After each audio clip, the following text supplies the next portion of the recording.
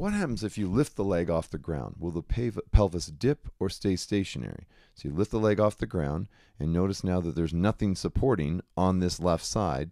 You would think that that pelvis would dip because of gravity. But when we see what happens is if you lift the leg off the ground, the pelvis remains level.